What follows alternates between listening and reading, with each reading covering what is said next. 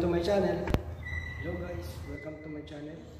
And now, I will show to you the calibration of safety valve in the MKN FlexiShaft. Let's start now. This is the FlexiShaft tilting pan. So we'll check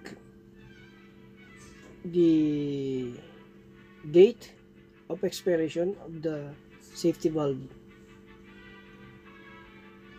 as you can see that is uh, February 15 2021 so we need to calibrate this one and to update this. Let's start the safety valve calibration. Click on checking the safety valve. Click start.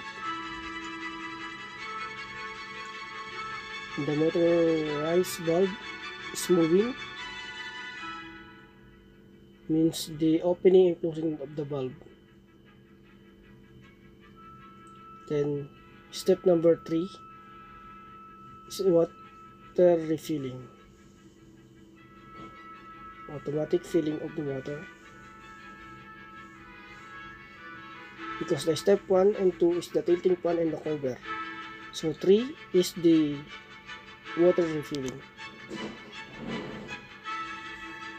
and there is an automatic level sensor to make sure that the water is enough for the pressure cooker.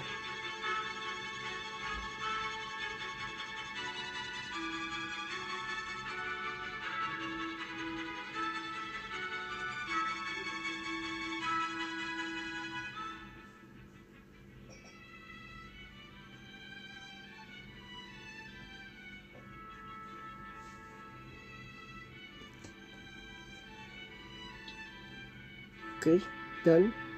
The step 4 is closing the lid.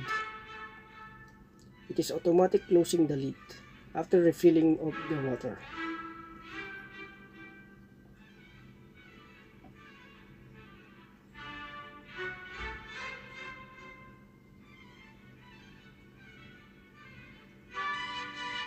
Next we need to lock it step 5 so now we are going for heating up the tilting pan. The heater range is B0, B1, B2, B3, B4, B5 so 6 seaters and you can notice also the SSR is on when the number is 1 and then this is the actual pressure. SSR is 1 1 1 means all are activated. You can check also the pressure. 959 958 so it's building up the pressure. The SSRs are still on means the heater is on. And you can notice some of the waters draining to remove some waters.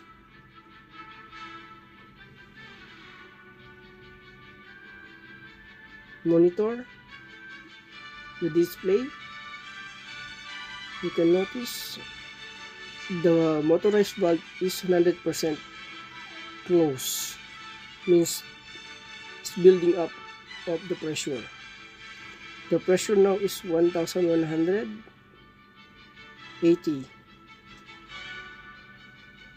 going up 1200 to make sure that the opening and closing of the motorized valve is good and then the last is the motor the safety valve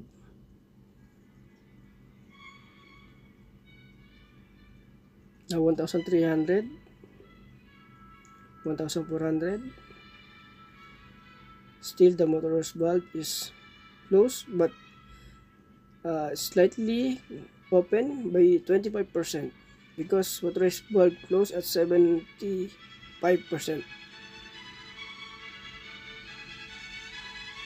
and now the heater is off all is 0 0 0 0 0 and you can notice the heaters is 130 degrees ready.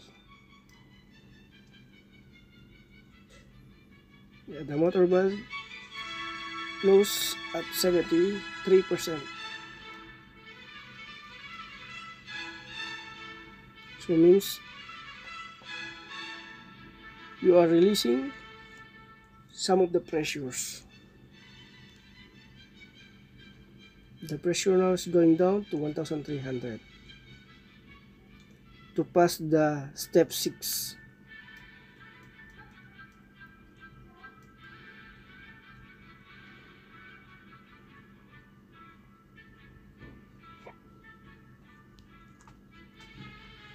Motorized valve is 47 degree close.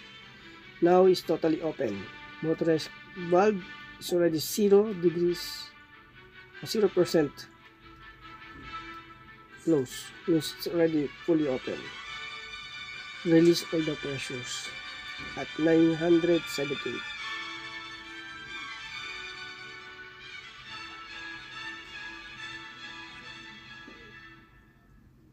Yeah, we passed the number step number 6 now we are on going to step number 7 to check that the pressure here is releasing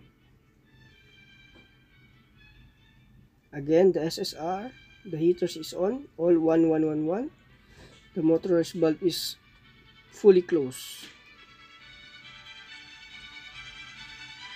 Fully closed 100% closed. As you can see that all SSR is 1 means it is on. The heater temperature is 130 degrees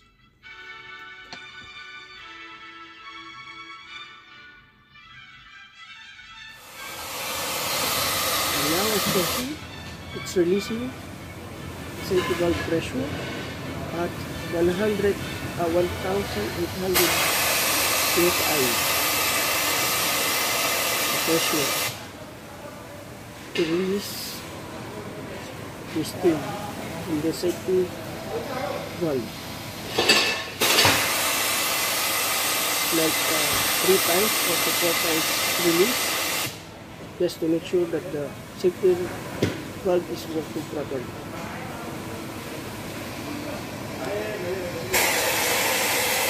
because the motor's valve is full so releasing the pressure. 1,800 pressure.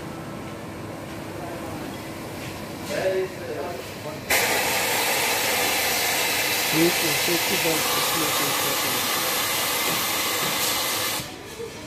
Cannot build up until 2,000 psi. Okay, now we are releasing the pressure.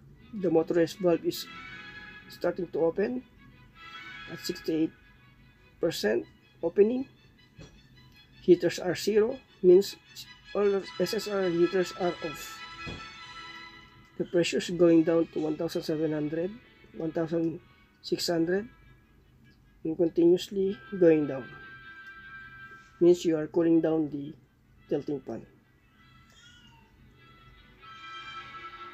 and the motorized valve continuously opening at 56% open.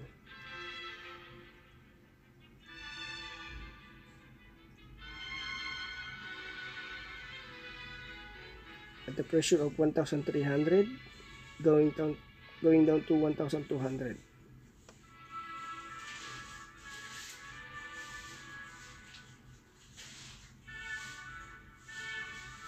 This is the last step to cool down the tilting pan.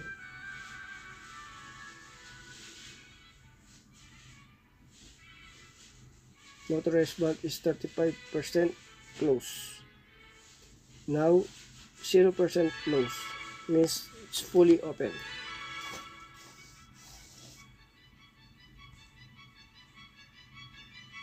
The pressure is 1023.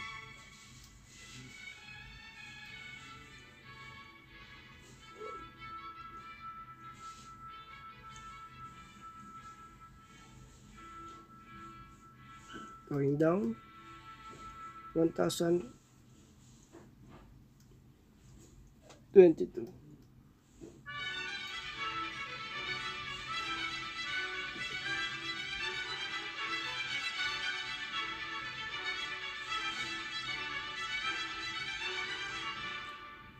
done. We already finished the step 7 so we are already completed the calibration of safety valve. Let's check if already updated. Yeah it's updated now will expire on September 2021